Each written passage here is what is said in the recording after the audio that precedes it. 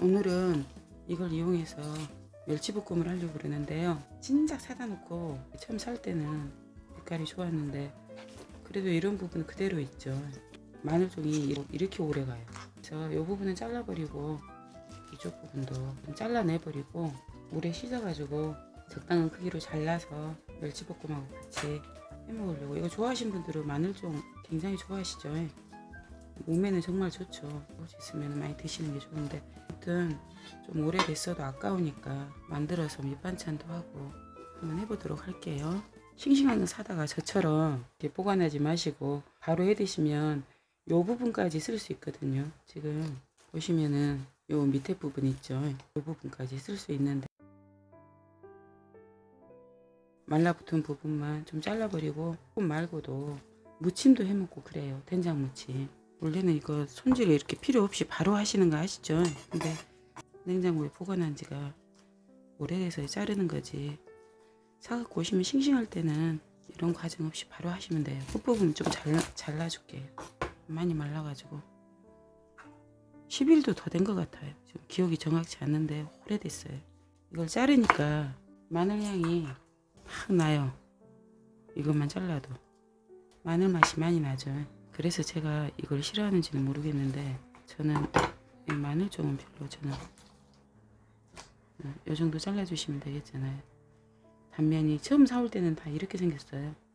그때는 바로 하셔도 되죠. 안 자르고 시들었으면 잘라주시고 이 부분도 아깝죠. 다 쓸 수 있었는데 다른 영상 올리고 편집하고 혼자 바빠가지고 맨날 욕심은 많아가지고 또 가서 이거 이것도 해야지 저것도 해야지 근데 이거는 사진 찍으려 한게 아니고 몸에 좋잖아요. 그래서 건강 생각해서 좀 해주려고 사다 놓은 거예요.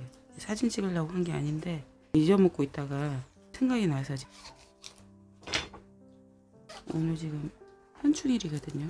현충일 쉬는 날이라 가보고 싶은가 봐요. 어머님 빈손으로 가기 그러니까 이거 좀 해가지고 본인도 좀 먹으라 그러고 어머님도 좀 줄이면 좋을 것 같아서 이렇게 해서 살렸어요. 죽을라는 걸 살렸어요. 이 마늘이 이렇게 오래 가요. 어떤 성분이 있기 때문에 그러겠죠.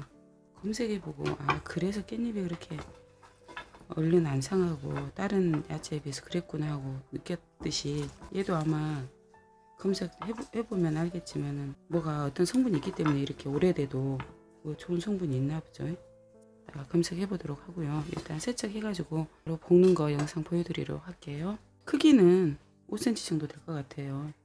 대충 이 손가락 마디 한 마디 넘지 않게 음식할 때 센치를 일일이 재갖고 안 하죠. 근데 이제 설명을 짧은 것도 있고 긴 것도 있고 그러죠. 네, 대략 그 정도 어림짐작으로 대충 이 정도 이 정도 그리면 딱 좋아요.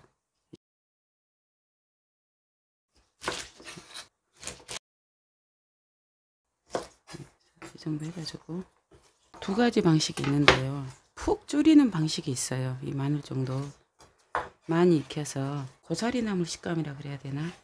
그런 식으로 푹 졸이는 방식이 있는데 오늘은 마지막에 넣어서 약간 아삭한 식감으로 푹 졸이는 게 좋다 하시면은 먼저 넣으면 되겠죠.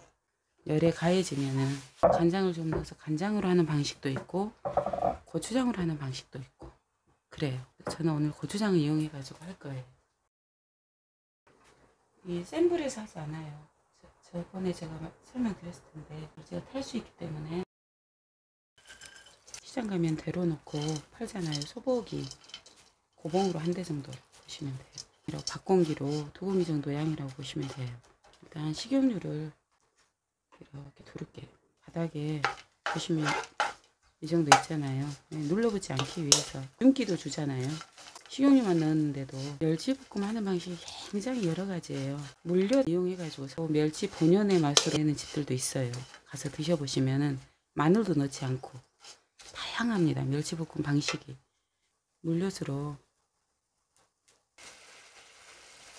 그러면 수저로 한 3숟갈 정도 수저 양으로 하면 한 3숟갈 정도 불을 세게 해 놓으시면 안 되고요. 이것만 넣어도 이렇게 윤기가 나잖아요. 그래서 물엿 양은 총 한 3숟갈 정도 넣으셨다고 보시면 돼요. 설탕을 두 숟갈은 좀 많아요. 그러니까 한 정도.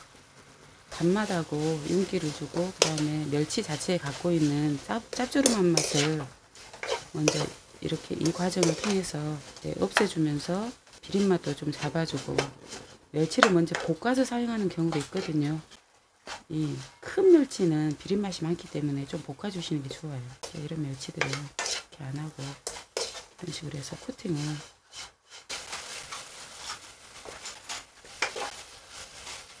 1분 정도요. 이 약불에서 1분에서 1분 30초. 양에 따라 약간 다르겠죠. 코팅을 먼저 씁니다. 그러면 얘가 바삭바삭해져요. 비린맛도 잡지만은 저 물엿만 넣으면은 달라붙고 물엿하고 설탕을 섞어서 썼어요. 그래서 이 정도 됐을 때 물기를 좀 넣고요.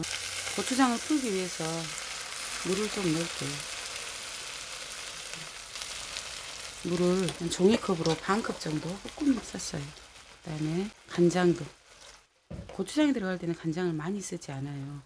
고추장은 크게 하나, 둘, 세 숟갈 정도 쓰셨다고 보면 돼요. 이 양은 쓰시다가 조금 부족하면 재빠르게 늘리시면 되거든요. 그릇에다가 풀어가지고 쓰셔도 돼요.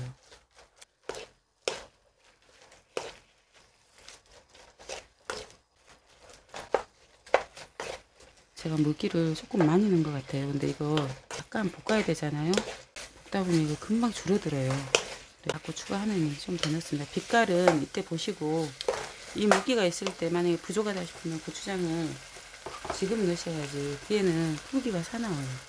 고봉으로 반 더 넣었으니까 고봉으로 세 숟갈 보시면 돼요. 촉촉했을 때 풀어줘야지 고추장이 들어가기 때문에 고추장에 짠맛이 있잖아요. 그걸 최대한 줄이시고요. 금방 없어졌잖아요. 음.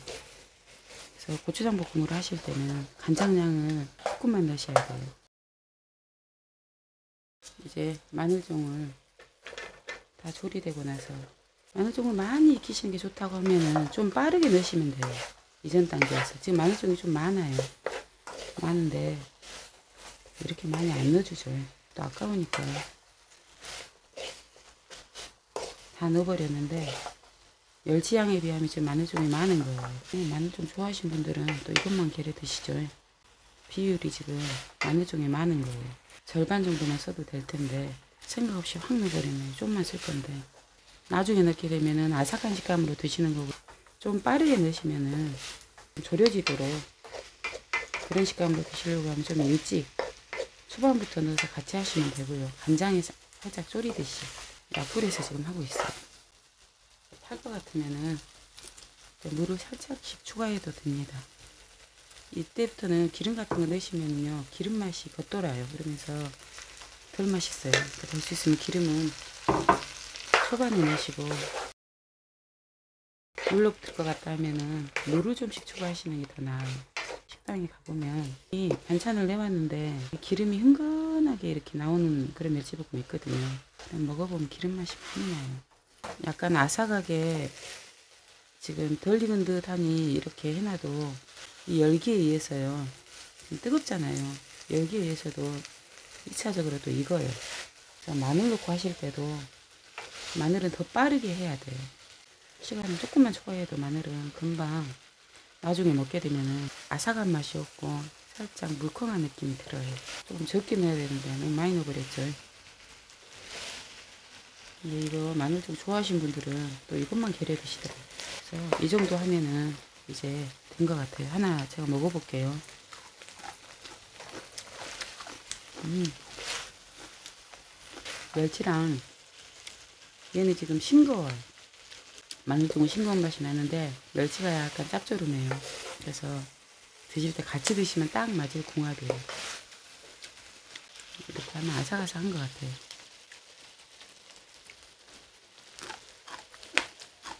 아삭아삭해요. 이 정도 딱 된 것 같아요. 이 수분이 좀 있어야지 약간 촉촉한 게 바닥에 있어야죠. 드실 때 물엿이 들어가서 달라붙지 않아요. 그래서 수분을 약간 더 줬습니다. 촉촉하니 바닥에 이 정도는 미세하게 이 정도는 남아 있어야 돼요. 그래야지 너무 달라붙어서 네, 마지막으로 불을 끄고요. 참기름을 이 정도 뿌려주세요. 마늘종을 너무 많이 넣어가지고 제가 원했던 비주얼이 아니, 아니지만은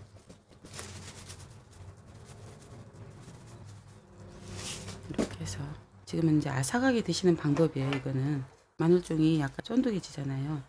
많이 익히게 되면 쫀득쫀득한 맛이 있어요. 그렇게 드시고자 한다면은 초반부터 넣어서 같이 볶으시면 돼요. 좀 빠르게. 그때는 물기를 조금 있게 하고 간장량을 좀 늘려야 돼요. 많이 익히면 쫀득쫀득해져요. 오늘은 아삭하게 드시는 방법으로 설명을 드렸어요. 마늘종을 조금 빼고 원래 이 정도 마늘종이 들어가야지 저는 마늘종 제철이니까 뭐 여러 가지 장아찌 드실 수 있고 고추장이 베이스가 되느냐 아니면 진간장이 베이스가 되느냐 어떤 방식으로 해 드시느냐 개인 취향이고요. 맛있게 해서 밥 반찬으로 만들어 놓고 드시기 바랍니다